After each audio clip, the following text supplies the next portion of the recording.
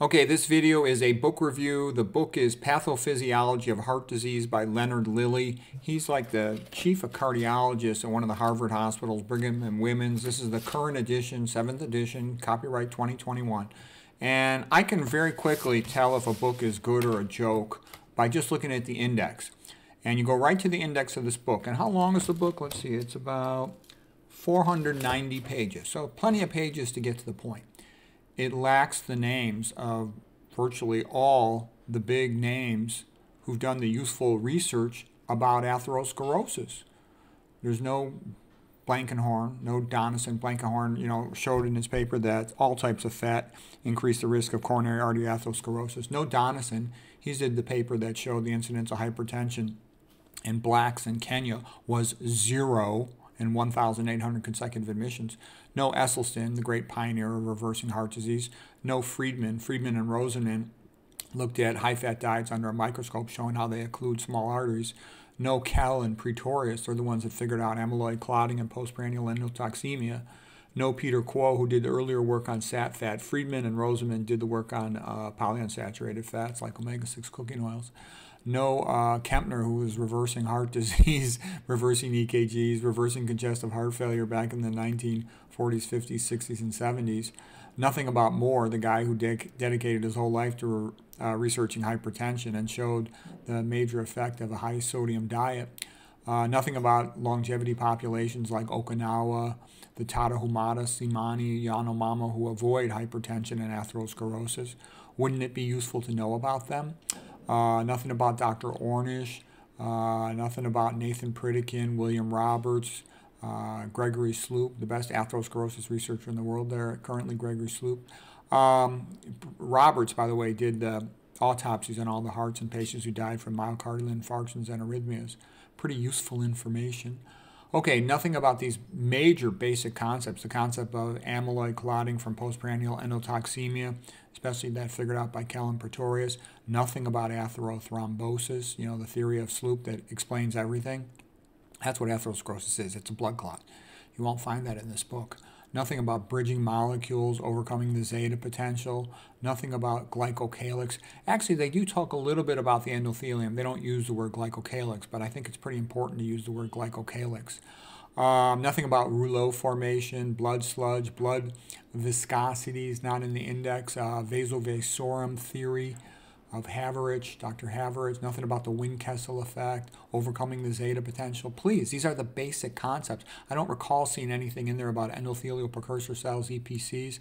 We're talking basic. I couldn't give an introductory lecture to first year to first year medical students without going over this stuff, okay? This is really basic stuff. So what this means is this is the definitive textbook. This is the big shot book that people will, will quote and look to for understanding uh, atherosclerosis and coronary disease. There's no mention of the history of coronary artery disease research. There's no mention of nutrition. Actually, there's one brief mention. There's only one time where they, they let their guard slip and they say on page 134, I put all the page numbers here so you can look this up for yourself. Elevated serum LDL may persist for many reasons, including a high-fat diet. so they do have high-fat diet in that one little word and they always do it in a way that people don't get it.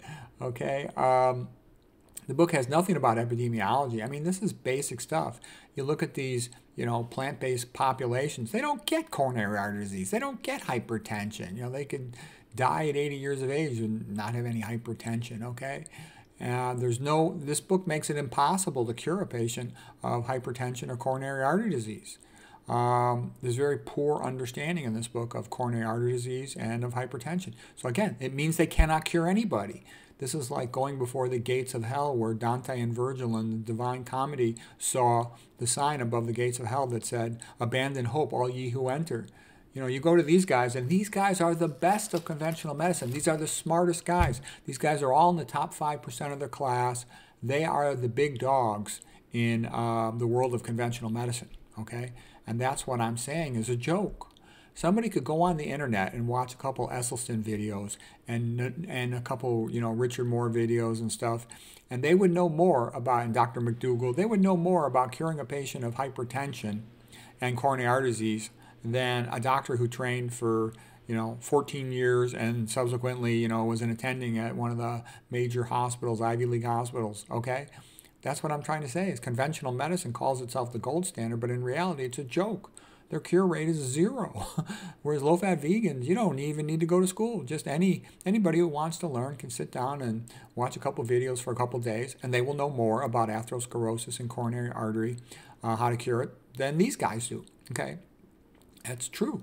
And what I'm saying is, this is like writing a book about football with nothing about passing, or a book about basketball with nothing about dribbling, free throws, three pointers, or like writing a book about baseball with nothing about pitching and catching. It's ridiculous. It's beyond stupid. It's a joke. Okay?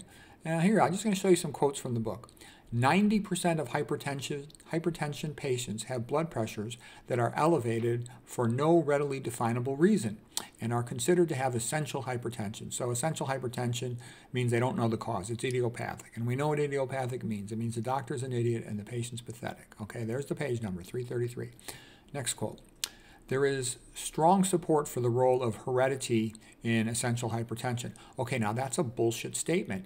The reason why I say it's a BS statement is because what they're trying to do is tell you it's genetic. Because as soon as you label a disease genetic, what you're really saying between the lines in conventional medicine is there's nothing anybody can do, it's just genetic, you got to take our medicine. And the evidence that they will cite for hereditary components, they'll say, look, both of the identical twins have it. Siblings are more likely to get it. Well, no shit. That's because they both eat the same diet. Duh. Okay, that doesn't mean it's a genetic problem. Okay, now look at the next line here. This is the typical way that uh, students, medical students, residents, fellows are bullshitted, and, and, and public is too. The next line here hypertension has been linked to poor access to health care and to low socioeconomic status. Okay, now why do I say that's bullshit? Well, like I said, in the Kenya study of in the Lancet Journal 1929, Downing said 1,800 consecutive admissions with zero hypertension. They're a bunch of poor people, the Kenyans in Africa, okay? They don't have any hypertension. All these populations, the Okinawans, the Yanomamo, the Tarahumara, they are poor people. The Tarahumara are so poor, they don't own cars. The Yanomamo don't own cars. Most of the Okinawans would walk to their field where they grew their food. These are all poor people. So it's not low socioeconomic status. They're all poor. It's not poor access to health care. All of those people are poor. It's not genetic. It's just because they eat the same diet. So what I'm trying to say is they try to hook you on this bullshit. Well, it's due to aging and genetics poor access to healthcare. They're better off with no access to healthcare with these guys. All they've got is pills. They don't know anything about diet, okay? So this is all bullshit. And they'll say the same thing in other books about diabetes and other books about, uh, you know, uh, hypertension. I, am just telling you, it's, it's bullshit, and, and you need to know that. Okay, let's look at some more quotes here. Elevated insulin levels may contribute to hypertension. Okay, elevated insulin contributes to hypertension. Well, what causes elevated insulin? Insulin resistance. What causes insulin resistance? Main thing is high fat diet. Okay, that's why these high fat diets and the people who promote them on the internet are a joke. Okay, all types of dietary fat will, will cause insulin resistance and will lead to elevated insulin. Okay, then here's some here's something really interesting. This is good. And they do they do mention, I thought this was a good point. This is on page 335. They say elevated insulin levels will cause increased sympathetic activation. And they also will stimulate uh, vascular smooth muscle hypertrophy. Okay, well, why is it a big deal they cause increased sympathetic? That means they have a some of an effect that mimics psychological stress, increased sympathetics, sympathetic autonomic nervous system. That means it will lead to increase in cortisol and catecholamine. Okay? Well, you don't want that. That makes you fat, that makes you hypertensive, that can predispose to anxiety, that can predispose to a decrease in impulse control. So, what am I saying here? This also helps partly explain high fat diets cause elevated insulin, cause increased sympathetic activation. That means fight or flight mode. Maybe that's why the keto carnivore, paleo, keto, um, low carb types are such jerks on the internet. They're so rude and impulsive and aggressive because they have elevated sympathetic autonomic nervous system. They're in fight or flight mode because if they have a clue, they realize their paleo, keto, carnivore, low carb diets are a joke, as is the meat eating Mediterranean diet. A joke. It doesn't cure patients of coronary heart disease. Okay, um, what does he say? Smooth muscle hypertrophy may be caused by a direct mitogenic effect of insulin. Okay, mitogenic effect means it causes cells to replicate. Now, why do I think that's funny? Because what you're really saying here between the lines is insulin is a growth factor causing cells to replicate, and the indirect implication is well, maybe that causes mitogenic effects on other cells. Maybe that causes cancer to grow. So, what you're sort of saying here between the lines is you're implying that a high fat diet will cause hypertension, atherosclerosis, and it's known to cause diabetes, and it causes mitogenic effects, meaning it elevates things like insulin like growth factor, so it causes increased cancer. Okay, so what I'm trying to tell you is medical students, residents, fellows, attending physicians, they never realize it from reading these books. But once you know nutrition, you can see the truth buried within their abstract words. Okay, now here's another thing here he says obesity itself has been directly associated with hypertension. Well, what causes obesity? We know that the higher the percentage of calories from fat, the fatter the population gets. So the fatter the diet, the more fat you get. That's number one. Number two, we know that processed food makes people fat. Well, gee, what's in processed food? There's a lot of oils. There's also a lot of MSG and MFG to get people to overeat by making it hyperpalatable. Those are other things that cause obesity. And we're not going to get into it, but estrogenic chemicals also lead to obesity. Those are some things. Being sedentary, lack of sleep, causing elevated stress. Okay, uh, he continues. Research has identified several key components that contribute to atherosclerotic inflammatory processes, including endothelial dysfunction, yeah, but why do you have endothelial dysfunction? Maybe it's because the high-fat diets cause the neutrophils, the white blood cells, to release more MPO, myeloperoxidase. I gave an entire lecture on that. And the MPO myeloperoxidase is very cationic, meaning it's positively charged.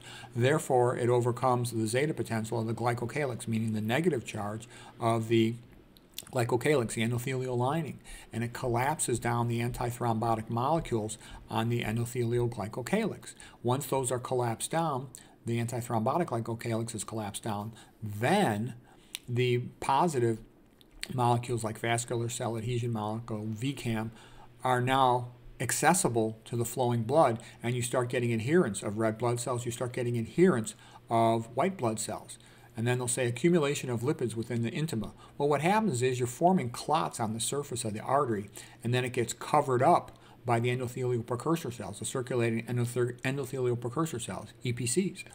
Okay, and then, uh, like I said, the MPO being attached to the wall, it causes an inflammatory response. That's why meat eaters have higher white blood cell counts than new vegans, low-fat vegans. Okay, so you get recruitment of leukocytes, white blood cells to the vessel wall. Yep, then you get formation of foam cells. Yeah, as you form the clot, the macrophages reabsorb the clot, including the lipids from it, you know, from the plasma membrane to the red blood cells. And then you also basically, it's a clot is a, is a hematoma, like a small hematoma. And then the immune system reabsorbs it and lays down some collagen. So there's deposition of extracellular matrix. So they have told you some of the steps in forming an atherosclerotic plaque, but they have not correctly explained them. so they leave you in confusion. They're not able to put it into a convenient, uh, coherent narrative that makes sense, a sequential description of events. They can tell you events, but they can't explain the cause. And they're never going to come right out and say, gee, high fat diets, high sodium diets, all this processed food, all these estrogenic chemicals, they make you fat, sick, and atherosclerotic, and hypertensive, and diabetic. Okay, uh, another component. Atherosclerosis in, involves inflammation at every stage. And then there's elevated CRP, C-reactive protein, and fibrinogen. That's a tricky statement. The reason I got into this is this is a little bit of what I would call a drug dealer statement because there's a big push at Harvard to do research on atherosclerosis saying that inflammation is a major component of it.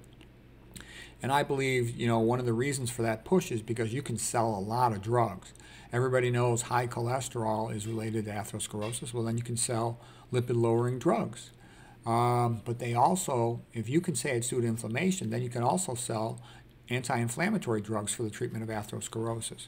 But I can tell you, you know, I looked at, I talked to Dr. Sloop, the greatest pathologist, atherosclerosis researcher in the world, and he says he doesn't see significant inflammation in atherosclerotic plaques. He just sees a resorbing hematoma. Um, and he says elevated C-reactive protein in the blood he believes it's a myokine that the muscles can't replace their glycogen because of the insulin resistance, and the glucose can't get into the muscle, so it can't rebuild up its glycogen stores. And he says that's what causes elevated C-reactive protein. And fibrinogen is also elevated because there's inflammation in the blood related to postprandial endotoxemia, for example, and that can lead to amyloid clotting, like the work of Douglas Kell and Etheresia Pretorius. So the bottom line is, you know, Esselstyn, he didn't use anti-inflammatory drugs to to cure atherosclerosis. He just put the people on a low-fat diet with no oils. And there is some truth to the statement. Well, that reduces inflammation because you avoid the meats, you avoid the oils. Yes, that's true. So it is true that there is a little bit of inflammation. And I know I don't want to get into all the subtle details of, you know, how much inflammation is there really in obese um, adipose tissue, for example. But I think you see what I'm saying is the elephant in the room is totally ignored, the high-fat diets, okay? And then all these minutia is emphasized. Okay, uh, here's another statement. Pathology of PAD, peripheral arterial disease, that just means atherosclerosis in the legs, is identical to CAD, coronary artery disease. And the major risk factors are tobacco, diabetes, hyperlipidemia, and hypertension. So they say hyperlipidemia, but they don't come right out and clearly say, you know, mainly due to high-fat diets and high fructose in the form of uh, high fructose corn syrup and, and all those things. Okay, and oils. Okay, uh, one more line here. This will be the last line of this um, book review. Elevated serum LDL cholesterol may persist for many reasons, including a high-fat diet. And that's the only time I saw that I noticed in the book um, high-fat diet. There was no, no, the word vegan was not mentioned in the entire book that I'm aware of. Um, there was nothing about, like I said, all these vegan diet pioneers Okay, then he continues. Lifestyle modifications that might be beneficial include maintenance of a healthy diet. No description of diet, just says a healthy diet. What, what does that mean? Okay, that's a BS statement. And weight, a healthy weight, and augmented physical activity. How about saying an exercise? Okay, however, even intensive lifestyle modification, note these words, this is a big sentence here. Even intensive lifestyle modification is rarely sufficient to prevent cardiovascular events in individuals with long established atherosclerosis risk factors. Hence, many individuals require pharmacologic agents to optimize cardiovascular outcomes. Okay, so you hear what he's basically saying. He says, you know, it doesn't matter what the patient does. Even lifestyle intensive modifications is rarely sufficient to prevent CV events. So you're going to have to take the drugs, is what he's basically saying. Okay, so what I'm trying to say is yeah, the guy's real smart. Yeah, he's got all kinds of sophisticated discussion of EKG, sophisticated discussion of echocardiography, uh, um, cardiac valve disease, and all these complex topics.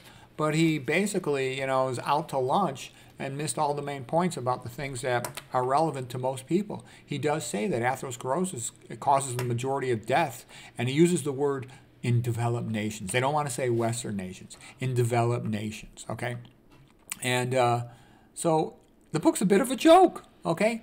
Yes, you can look up a lot of advanced, sophisticated uh, cardiology knowledge in this book, but it doesn't get to the main point. Eat a low fat, low sodium, vegan diet with no oils, and you can cure coronary artery disease. You can cure hypertension before you start having irreversible damage to the arteries, calcifications of the arterial walls, loss of the Windkessel effect. You can cure type 2 diabetes before you've lost the pancreatic beta cell function. So um, anyways, this is conventional medicine. This is the pinnacle, the top, the best that conventional medicine can offer. And it's still a joke.